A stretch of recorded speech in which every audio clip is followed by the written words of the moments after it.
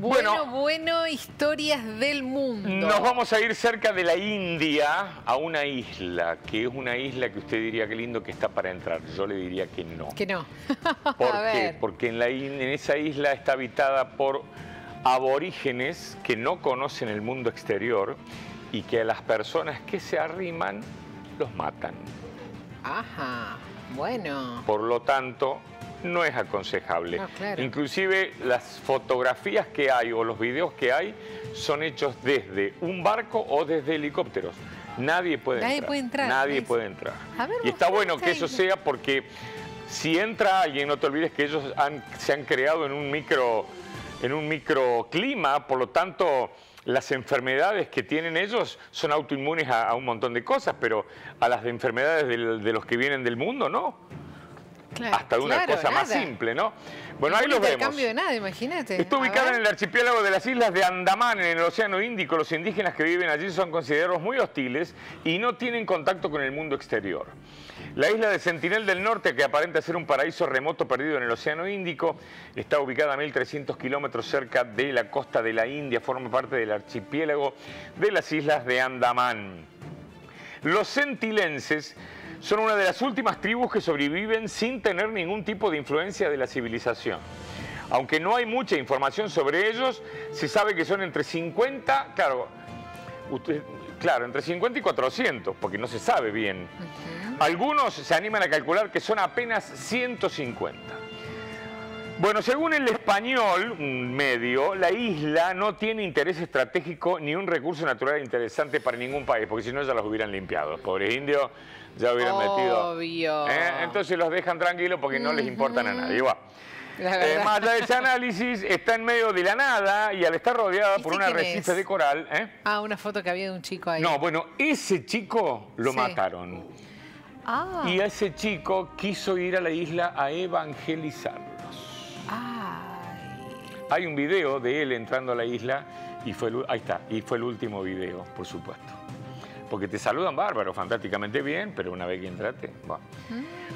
Eh, lo que sí se sabe es que esta tribu que allí habita no tiene ningún tipo de interés en recibir visitas. Las pocas veces que se intentó tener contacto con ellos, desde helicópteros o barcos respondieron de la misma manera, a flechazos, pedradas e insultos. ¿Qué? Insultos. Ahí está, este es el chico que murió. Claro. Eh, inclusive fue llevado de forma ilegal porque está prohibido llevar gente a la isla, evidentemente, porque saben que lo que va a pasar. Buah. Se cree que la tribu podría llevar allí, ¿sabe cuánto tiempo? 65 mil años. Eh, y según las pocas fotografías que se pudieron tomar, los especialistas notaron que tienen rasgos muy parecidos a los habitantes africanos, más que a los, que a los indios.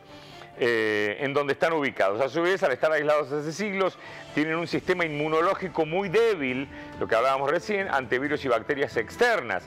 Viven de la caza y la recolección y han logrado sobrevivir al tsunami que azotó el Océano Índico en el año 2004 y que provocó más de 200.000 víctimas a lo largo de todo el Golfo de Bengala. Bueno, a ellos no les hizo nada.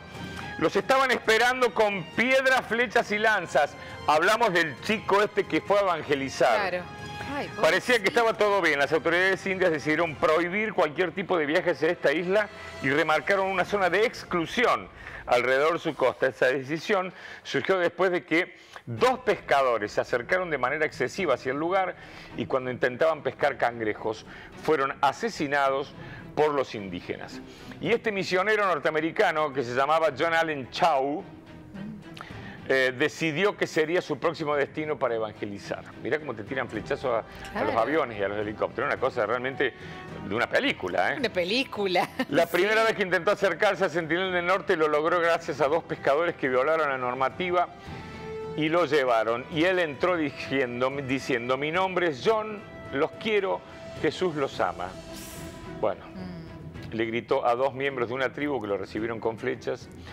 En el último diario íntimo de este muchacho, difundido luego por el diario The Washington Post, el chico dijo, no quiero morir, podría volver a los Estados Unidos porque me parece que quedarse aquí significa una muerte segura y así y fue. así terminó. Estuvo en lo cierto, en su segundo intento lo volvieron a recibir con una lluvia de flechas, pero esta vez no habría marcha atrás. El joven siguió caminando y fue capturado por los indígenas que lo ataron a una soga del cuello, lo arrastraron por la playa. Horas después Los pescadores que habían acercado hasta la orilla vieron su cuerpo semienterrado. en Ah, y una película, lo que estás contando. Absolutamente.